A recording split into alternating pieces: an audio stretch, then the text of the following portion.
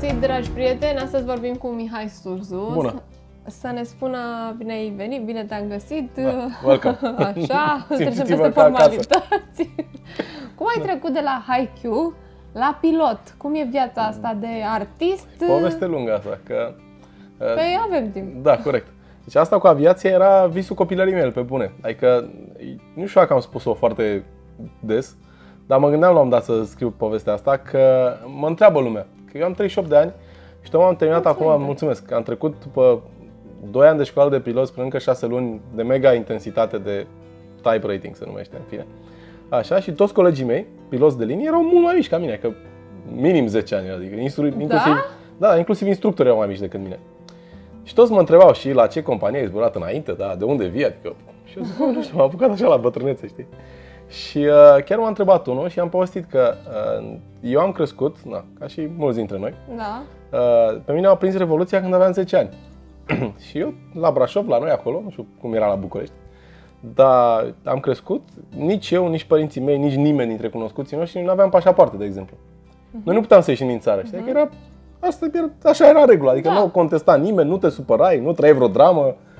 Ca și când astăzi se spune cineva că nu poți pleci de pe planeta Pământ. Da, Deci, bun, nu poți. Eu nici nu realizam că și aveam cam aceeași E, viziune, nu vezi? realizam că n-am pașaport Da, adică sau nu, că nu, nu, nu, simțeam nu puteai, da. nevoia. Adică știai că mergi vara la mare, la mare, la munte eram la Brașov, zici gata, aia era. știi? și, uh, băi, ții minte și acum, deci exact, exact momentul ăla de copil mic, așa, vedeai avioane pe cer, știi? Și mă gândeam, bă, oare cum o fi, mă, să pleci de la Paris la Tokyo, știi? Că învățam la geografie, totuși nu eram atât de bătuți în cap sau de grădiți, știi? Normal, da, nu, era cultură generală. Exact, adică făceam școală. Și mereu a fost acest slash vis, uh, vis slash gând de libertate, de ce-o fi, de cum o fi, știi? Și o fi rămas în capul meu cumva că la 32 de ani mi-am făcut, uh, mi-am, m-am apucat de școala de piloți. Mi-am luat licență care se numește PPL, Private Pilot License, cu care am voie să zbor cu prietenii cu avioane de astea mici. Mă gândeam că dacă zbor la mine la Brașov e suficient. și mi-a plăcut atât de mult încât am tot avansat, am avansat, am învățat, am învățat, am învățat. Anul trecut am uh, terminat școala de piloți de linie. A durat cam mult, că în timpul ăsta mai și lucram. Păi, da, e- adică a durat mult Doi ani și jumătate, da. și e mult. Da, păi da, că noi un an am făcut numai teorie. Aha. Că ah, noi, ok. da, un an am făcut numai teorie și mă duceam la teorie doar joia și vinerea. Că și eu și ceilalți colegi aveam joburi în timpul liber. Dacă te duci luni, marți, miercuri, joi, vineri la școală, termin probabil că mai repede. Dar ce înveți la teorie? Știu că e... Absolut tot. Deci Absolut. Sunt uh, 14 materii. Mm, Asta vreau să zic, Da. că sunt foarte multe materii. Meteo, navigație, performanțe, pe, per, uh, ceea ce se numește în românește cunoașterea aeronavei, sisteme, tot, tot, tot. Uh, tot, tot. Deci da, tot dar ce care a sună. fost declicul, nu știu, Legislație. momentul în care ai zis, băi, da, acum vreau să mă apuc să învăț ca să fiu pilot? Asta e o bună întrebare. Eram, uh, aveam 32 de ani, trei- 31-32 acolo. Și uh, am fost invitat să fiu speaker la un tabără de asta de copii foarte deștepți. Aveam, în fine, mă invitau pe acolo, vorbeam eu, le povesteam. Și uh, am stat mai multe zile în tabăra aia. Și eu eram și trainer, dar am fost și la cursurile altor traineri. Și era un tip irlandez și acum trebuie să-i mulțumesc, mai sunt prieten cu el pe Facebook. Așa, care a făcut un exercițiu cu copiii ăștia care se numea ziua perfectă, l-am făcut și eu. Și e un exercițiu foarte bun. Dar e foarte interesant asta. Și uh, se făcea în perechi și unul dicta, unul scria. Unul, unul vorbea și povestea ziua perfectă. Uh, regula era foarte simplă, că spunea, bă, uite, imaginează cum e ziua ta perfectă pe o planetă care nu există, care e planeta ta, poți să faci mică, mare, poți să faci oricum, poți să faci cu ape, cu munți, cu whatever, cu orașe, fără orașe, cu oameni, fără oameni. Deci, planeta ta și te scrie cu cât mai multe amănunte ziua ta perfectă. Și la început zici, "Pf, ce tare, mamă, ce mișto, ziua mea perfectă. Da, după aia Și stai după și aia te îți dai seama că zici, gândești, da, ok, ce bă, aoleu. adică cum am o zi întreagă în care pot să fac ce vreau eu și da, și exact ce vreau să, să fac să fiu fericit. E, și la început e greu, știi, că mă zici, adică te și ajuta la spun, ok, la ce oră te-ai trezit? Știi? A, ok, măcar asta, știi? Da, Mă tre- da, îmi da, pun da, alarma da. să sune sau dorm până la prânz? Dorm până la prânz, dar am o zi, doar o zi, adică știi cumva Da, același. adică n-ai, n-ai timp să-ți petreci ziua perfectă. Da, e, și uh, a fost, era un exercițiu foarte deștept, de fapt. Uh, eu în ziua asta perfectă uh, zburam, ceea ce a fost așa marele declic pentru mine. Wow, motherfucker, eu zburam. De ce nu zbor? Așa, și er- erau câteva chestii foarte deștepte, pentru că, de fapt, când terminai de spus ziua ta perfectă, pe, pe măsură ce tot povesteai, povesteai, adică venea și voluptatea poveștii, adică te bucurai de ea, Uh, și a fost o chestie foarte mișto, pentru că absolut pentru toți din sală am constatat că niciunul nu face în fiecare zi a lui, dar nu că în fiecare zi, nu face aproape niciodată în viața lui de zi cu zi nimic din ziua perfectă. Deci este, a fost mega tristețe. Oh, ce zile perfecte avem. Ok. Ce faci tu în ziua perfectă? Aia, aia, aia. De cât, cât de des faci lucrul ăsta în viața ta? Ups, niciodată. Că în viața ta trezești, te uiți la job, whatever, ești cu prieteni în oraș, dacă nu mănânci sau ce faci și vii acasă. Bun. După care a doua chestie foarte importantă a fost că de fapt acel alter ego al tău, tu care trăiește ziua ta perfectă, nu ești tu cel de acum. E un om mai bun, mai drept, Da. mai curajos, cu licență de pilot în cazul meu. Așa știi? e. Ești, wow! Dar nu e atât de simplu, adică nu știu, cel puțin nu mi se pare un lucru accesibil. Eu în momentul în care mă gândesc la... Bine, mie mi-e și foarte Da. frică de zbor. Dar în momentul în care mă gândesc la pilot, mă gândesc la cineva care, doamne, deci uh, se va face nu știu câți ani. Trebuie foarte să aibă greu. în- o mulțime de calități, adică nu e ceva simplu. Zici, da, vreau să fiu pilot, ok, și s-ar putea peste 5 ani să chiar fiu, adică sau... Nu, e simplu, nu e simplu deloc și ai toate șansele să te lași.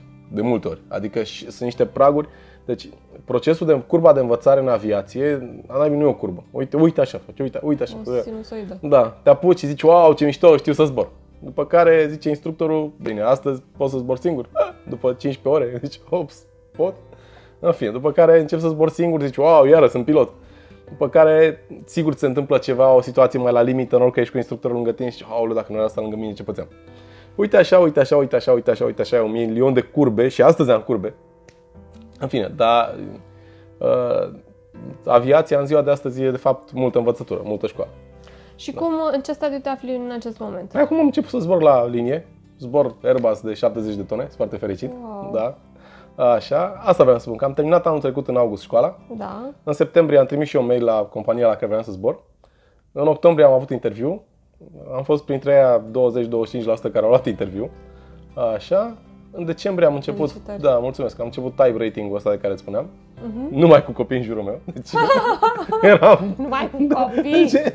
25 de ani. Păi stai un pic, adică noi zburăm cu avioane uh, pilotate de niște copii? Nu sunt copii, dar sunt foarte tineri.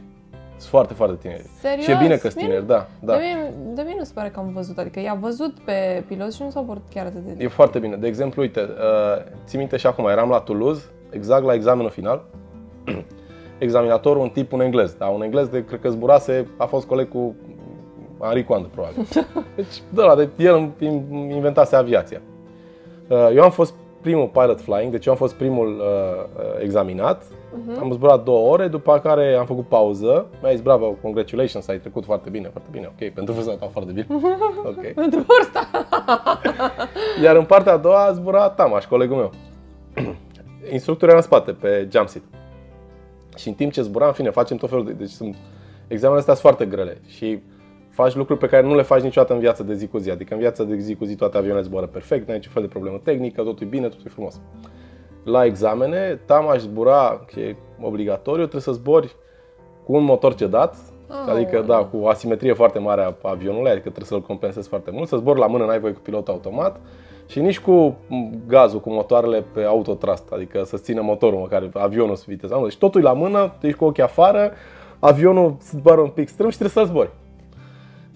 Tamaș făcea o treabă Grozitor. extraordinar de bună, deci băiatul ăsta de 27 de ani era impecabil, deci era acolo tot, tot, tot perfect, perfect, deci era perfect, deci parcă zbura pilot automat. Și la un dat ăsta din spate, uh, examinatorul mă bate așa pe umăr și zice, îi vezi mă Mihai copiii ăștia care au cu calculatorul în casă? Ia uite ce bine zboară face. Cu calculatorul în casă, da.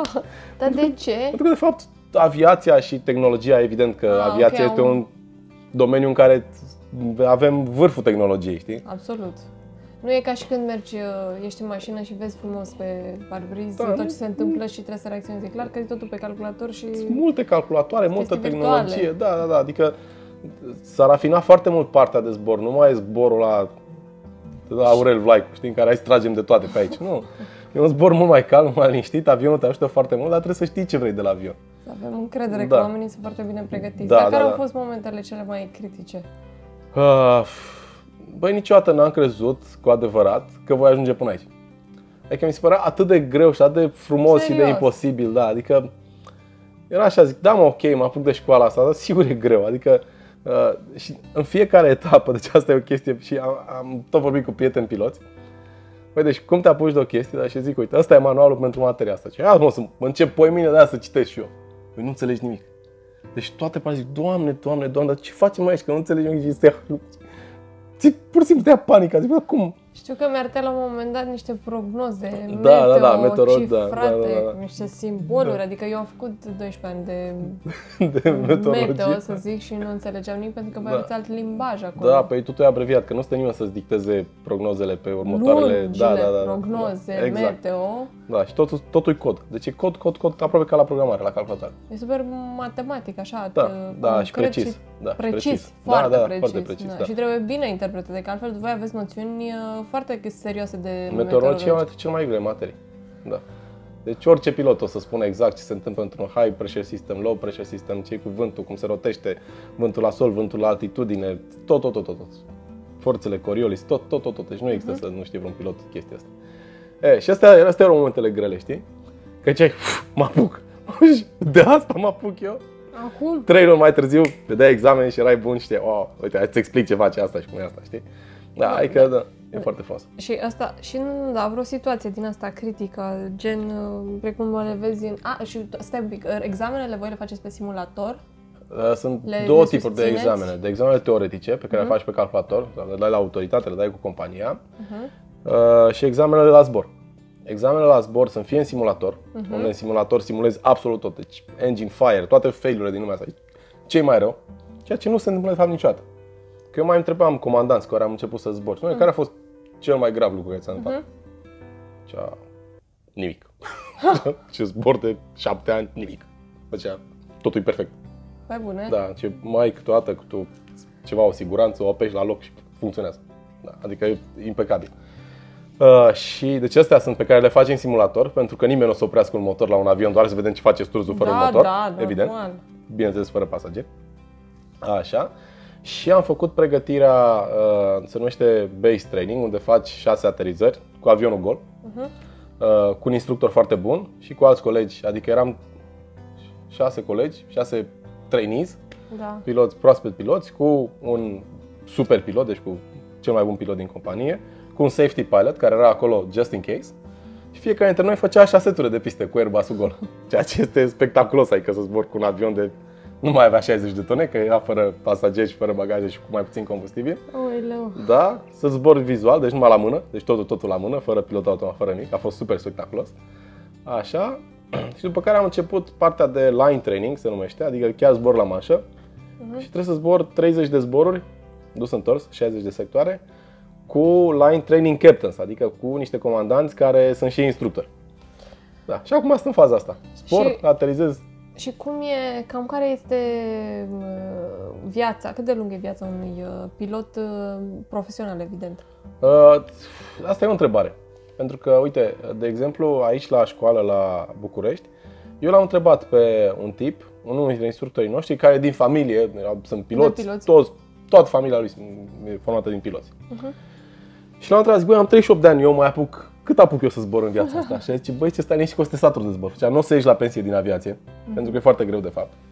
De ce? Uh, noi Ești- zburăm acum, jetul zboară foarte sus. Noi zburăm la 35, 36, 37 mii de feet. Asta înseamnă împărțit la 3, 11, 12 km. Mhm. Radiații, presiune scăzută, umiditate mică, adică condițiile astea de zbor sunt foarte, nu foarte grele, dar oricum în timp le simți. De asta se spune că tensiunea trebuie să fie 12 de tensiune de Da, aviator, da, adică da, da, trebuie da. să ai o anumită tensiune, nicio altă meserie nu-ți cere o anumită Păi noi- tensiune decât asta În fiecare an noi arterială, facem, evident. uh, pe lângă faptul că, fa- deci noi odată- fie- în fiecare an fac examen medical. Mhm. Până la 40 de ani și pe 40 de ani trebuie să fac la 6 luni, unele dintre ele. Mhm, mhm. Așa, și uh, deci starea de sănătate trebuie să fie perfectă. Mhm. Uh, Doar că, uh, asta îmi spunea instructorul ăsta, că nu există în România, sau din câte știa el, pilot care să fi zburat jet, că jetul zboară foarte sus, ăsta cu elice zboară mai jos, peste 20.000 de ore de zbor. 20.000 de ore de zbor înseamnă, noi zburăm 900 de ore pe an. Asta este limita legală și o zburăm. Deci cât înseamnă? 20 ceva de ani. Eu am 38, ar trebui ca la 58 de ani să termin cu aviația. Probabil că voi termina mai devreme, sincer să fiu. Mm, Da, da, da. Da, uh, dar oricum aveam început, nu mă gândesc cum să termin. E, da, nu, nu, Ok. mă gândeam așa că auzisem tot felul de uh, piloții ies la pensie la 45 de ani, dar practic nu are nicio legătură cu vârsta, ci Uh, cu orele de zbor. Cu orele Da, de zbor, da. Dacă, dacă încep să zbor la 16 ani planorul, la 23 de ani ești la linie, uh, n-am, n-a spus cineva, nu sunt așa sigur. Uh, anii de activitate în aviație sau un coeficient de multiplicare de 1,5. Deci un an de zile de zbor, un, un an de zbor se pune un an, un, un an jumătate de activitate. Ce au zis uh, ai tăi, uh, prietenii foarte apropiați, uh, mă rog, uh, Păi, mama, sora? Fam- Familia mea momentul este în care... mega suportiv cu mine. Păi da, sunt convinsă, dar în momentul în care ai avut o astfel de schimbare, adică nu e ca și când ai fi vorbit nu știu câte ani la rând despre că vrei să fii pilot și... A uh, fost la un- așa, pas cu pas. A fost pas cu pas? Da, da, da. da, în sensul că eu am apucat de zbor, ți-am zis, așa, just for fun, ca un Mhm. hobby. Uh, maica mea e unul dintre primii mei pasageri și am zburat cu maica mea peste tot. Aoleu. Da, da. Și am dus-o prin munți, am dus-o cu alții. Săraca de ea și a Da. venit cu tine... Da, foarte tare, da, da. Am, chiar vara trecută, uh, unul dintre cele mai frumoase weekenduri de asta de distracție a fost când am fost cu uh, două dintre cele mai tre- trei importante femei din viața mea, că sora Ah. mea a lipsit, cu maica mea și cu prietena mea. Și am fost de la Brașov, am fost la Cluj cu avionul. Așa. Am fost pe la Salină, pe acolo, am alt un prieten. Mă, deci era maica mea super extaziată. Wow! Deci era în avion, dar trebuia cum, să-i da, dau dar hartă. prima oară îți dai seama, deci un zbor cu pilot, îți dai seama câtă încredere trebuie să aibă în tine. Că acum pe bune ai încredere. Nu, că nu se poate întâmpla ceva atât de grav, ai încredere. Ok, poate sunt turbulențe. Păi lasă turbulențe, poți să...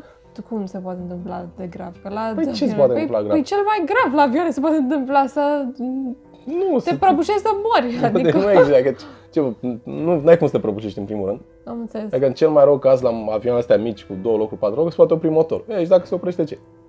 Aterizezi pe undeva, vezi tu un câmp, vezi niște lucernă, vezi niște rapiță, vezi ce, unde vrei tu să-l pui. Ești foarte optimist Și oricum, până dar acolo. cred că ăștia sunt... Dar nu-i cazul. Adică uh, aviația este foarte sigură pentru că mentenanța la avioane este draconică. Mhm, Deci la, cum facem, dacă să fac o paralelă cu mașinile, da? Nu știu, faci revizia la 20.000 de km. mhm. La avioane, aceste revizii se fac la niște intervale orare foarte clare, Mhm. dar atenție, și piesele se schimbă, producătorul spune, pompa de benzină, pompa auxiliară de benzină se schimbă la 200 de ore. La fix 200 de ore, organizația de mentenanță unde tu repari avionul o să dea jos pompa aia, care poate să funcționeze perfect. Mhm. Deci poate să fie cea mai bună, poate să o măsoare aia la milimetru, la micron, să spună, băi, funcționează. Da, Și ce dacă funcționează? Ai zis producătorul că o dăm jos? Da. Te pup, papa. O dăm jos până la 9. am înțeles. La, nu știu, zic niște valori de astea. La 300 de ore schimbăm furtunile hidraulice. Da, sunt foarte bine calculate lucrurile și clare Păi, și stricte. Da, normal, că pe aia care fac avioanele nu le fac de la alte. O singură întrebare aș mai avea, o curiozitate personală. Cum te vezi peste câțiva ani în domeniul ăsta? Nu știu, habar n-am. O să Nu? zbor, da. Da, în O să fiu continuare. captain la un moment dat. Acum sunt first officer, o să trec de pe Ah. dreapta pe stânga. Nu Am știu, o să înțeles. zbor mai mult. Dragii mei, s-ar putea să, dacă zburați acum uh, cu avion cu Da. nerviu, să-l aveți pilot chiar pe Mihai Sturzu, poate l-ați în interviu, îl mai întrebați o experiență, el pune să Nu mai cânte scrie lumea. gașca mea. Sunt- Sunt unii comandanți, sunt unii comandanți care la uh, anunțul pentru pasageri Da. pun pe toată lumea. Bună ziua, domnul Ștefan, sunt eu, comandanta noastră. Mihai da, și Sturzu. nu, nu, zice că nu, mai așa, ce, cum îl cheamă pe el, da? Da, Ion Popescu. așa. Alături de mine astăzi în cabină, copilotul meu Mihai Sturzu, alături de echipajul care e făcut din Maria Claudiu, Marcel Georgianu. Așa. Și îmi scris după Oameni, aia, nu, nu, nu se poate, o coincidență de nume. mi-au scris după aia câțiva pe Facebook. Băi, ce tare, am zburat astăzi cu tine la Luton sau ceva. Ah, Pe foarte- bune? Da, da, da, serios, da. a fost Da. foarte tare. Da. Bine, mulțumim, mulțumesc foarte mult. Și, și noi mulțumim tare mult, dragii mei, aștept comentariile voastre.